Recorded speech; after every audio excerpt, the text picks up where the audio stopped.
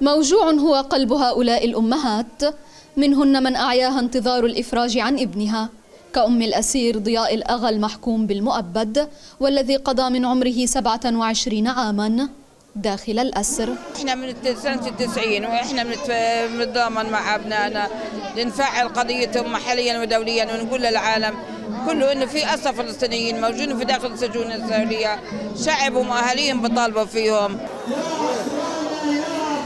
أخريات كأم الأسير رائد الحج أحمد تتلهف لرؤية ابنها ولو من وراء زجاج بعد حرمانها من زيارته منذ ثلاثة أعوام.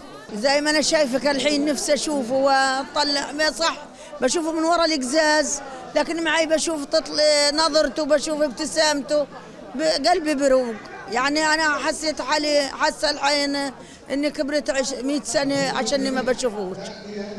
يعني الحمد لله على كل حال الحمد لله. قلبي بيجعني وبعتصر ألما لقلي شفت البطولة والعزيمة والتحدي والإصرار. تمنع الأمهات من زيارة أبنائهن دون سبب وأيضا يعتقل الفلسطينيون دون تهمة أو محاكمة. بموجب قانون الاعتقال الإداري 300 أسير يقبعون في السجون الإسرائيلية. ستة منهم يخوضون إضرابا عن الطعام منذ 36 يوما.